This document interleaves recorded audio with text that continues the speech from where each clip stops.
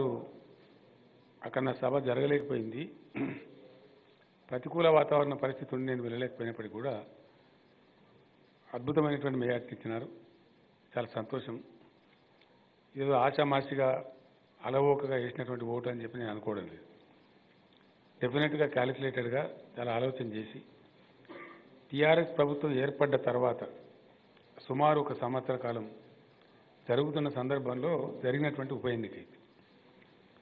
ఈ మధ్య చాలా వాదోపవాదాలు చర్చోపచర్చలు అనేకమైనటువంటి నీలాప నిందలు అపోహలు అనుమానాలు అవన్నీ కూడా జరుగుతూ ఉన్నాయి.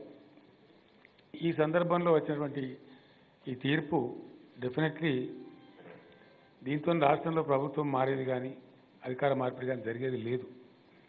కానీ డెఫినెట్గా పనిచేస్తూ పోతున్నటువంటి ప్రభుత్వానికి ఇది ఒక టానిక్ లాగా పనిచేస్తుంది. మరింత ఉత్సాహంతో పనిచేయడానికి ఒక అవకాశాన్ని కల్పిస్తుంది. ఒక స్పష్టతను ఇస్తుంది. ప్రతిపక్ష పార్టీ వాళ్ళు చాలా రకాల దుష్ప్రచారాలు చేసినారు. చాలా నిలాప నిందలు చేసినారు కొంత దుర్మార్గమైన ప్రచారం కూడా చేసినారు. వ్యక్తిగతమైన నిందలు చేసినారు. వాటన్నిటిని కూడా పక్కన పెట్టి మా అభ్యర్థి చైదిరెడ్డి గారిని మంచి మెజారిటీ నలభై మూడు వేల పైచిలకు మెజారిటీ వచ్చినట్టుగా ఫైనల్ చెప్తా ఉన్నారు. గతంలో అదే సీటు మేము ఏడు వేల మెజార్టీతో ఓడిపోవడం జరిగింది. అంటే యాభై వేల టర్న్ అరౌండ్ ఆల్మోస్ట్ గతంతో పోలిస్తే fifty thousand voters turn around అయ్యి కుండ బద్దలు కొట్టినట్టు వారి అభిప్రాయాన్ని చెప్పినారు. హుజూర్ నగరు ప్రజలు ఏ ఏ ఆశలతోనైతే ఏ ఏ హోప్స్ పెట్టుకొని టీఆర్ఎస్ని గెలిపించినారో వంద పర్సెంట్ నేను వెళ్ళినప్పుడే చెప్తామని అనుకున్న సభలో వాళ్ళ ఆశలు నెరవేరుస్తాం. హండ్రెడ్ పర్సెంట్ వాళ్ళ కోరికలు తీరుస్తాం. అక్కడ సాగర్ ఆయకట్లో టేలియన్ ప్రజలు బాగా బాధపడతా ఉన్నారు నాకు ఆ విషయం తెలుసు. హండ్రెడ్ పర్సెంట్ నేను బహుశా మా పార్టీ వాళ్ళు అక్కడ మినిస్టర్ గారు అక్కడ పనిచేసినటువంటి ఇన్ఛార్జ్ పల్లా రాజేశ్వరరెడ్డి గారు మీరు ఎల్లుండి రావాలని చెప్పి చెప్తా ఉన్నారు. మేము ఆల్రెడీ ఎలక్షన్ కమిషన్ కూడా అడిగినాం మేము. ఇక్కడ ఎల్లుండి ఒకసారి పోయి వాళ్ళకి నమస్కారం చేసి వద్దాం. కృతజ్ఞత నేను బహిరంగ సభ పెట్టలేకపోయినా ఎన్నికల కోసం. కృతజ్ఞతాపూర్వకంగా వాళ్ళకు థ్యాంక్స్ చెప్పొద్దామనే అభిప్రాయం నాకు ఉంది ఆల్మోస్ట్ ఫైనల్ అయినట్టే ఎల్లుండి ఈవినింగ్ హుజూర్ నగర్లో కేసీఆర్ సభ ఉంటుంది. తప్పకుండా వాళ్ళకి థ్యాంక్స్ కూడా చెప్తాం. వాళ్ళ సమస్యలు కూడా ఈ లోపల కూడా కొంత మాకు తెలుసుకొని అనౌన్స్ చేసి అక్కడికక్కడనే ఎన్నికల నిబంధన కూడా పోతుంది కాబట్టి అనౌన్స్ చేసి వాళ్ళ ఆశలన్నీ తప్పకుండా నెరవేరుస్తాం. ఆ కాన్స్టిట్యూషన్ అభివృద్ధి పరుస్తామని కూడా నేను తెలియజేస్తా ఉన్నాను రాష్ట్రంలో ఉండేటువంటి ప్రతిపక్షాలకు నా సలహా. మొన్న శాసనసభలో కూడా నేను చెప్పిన ఎదుటి వాళ్ళని నిందించడమే ఒక రకమైనటువంటి పద్ధతి రాజకీయం అనుకుంటుంది కాదు. కరెక్ట్ కాదు. ఆ పందా కూడా కరెక్ట్ కాదు.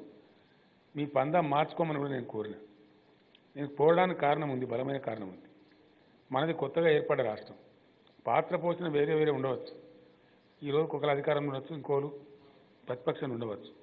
పాత్రలు మారవచ్చు రేపు. ఇది ఎవరికి శాశ్వతం కాదు.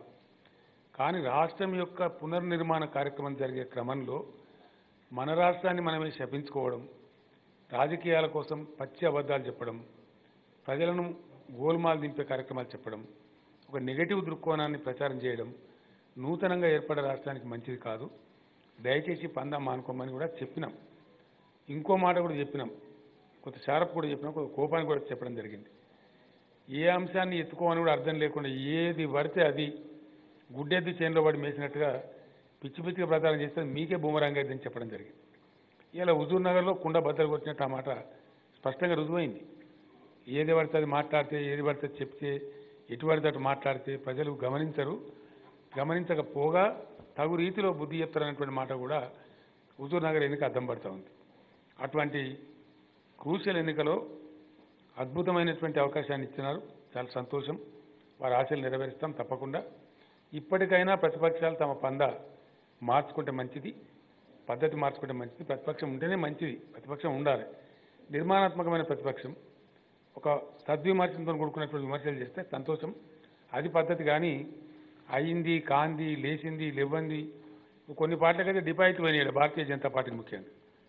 వాళ్ళ వాళ్ళు రోజు పెట్టే పిడబొబ్బలకు అరుపులకు వాళ్ళకి వచ్చిన ఓట్లకు పోలిక చూస్తే అసలు నవ్వన్నా ఏమనుకోవాలా ఏం చేయాలా అర్థం కాని పరిస్థితి. ఇట్లా ఇది మంచి పద్ధతి కాదు. ఒక వ్యక్తిని తిట్టడం ద్వారా పొద్దులైతే కేసీఆర్ని తిట్టడం ద్వారా మేము పెద్దలం అవుతాం. అపనిందలు వేయడం ద్వారా మేము పెద్దలం అవుతాం అనుకుంటే కరెక్ట్ కాదు. మరిన్ని అప్డేట్స్ కోసం ప్లీజ్ సబ్స్క్రైబ్ విఎస్ఆర్ ఛానల్స్.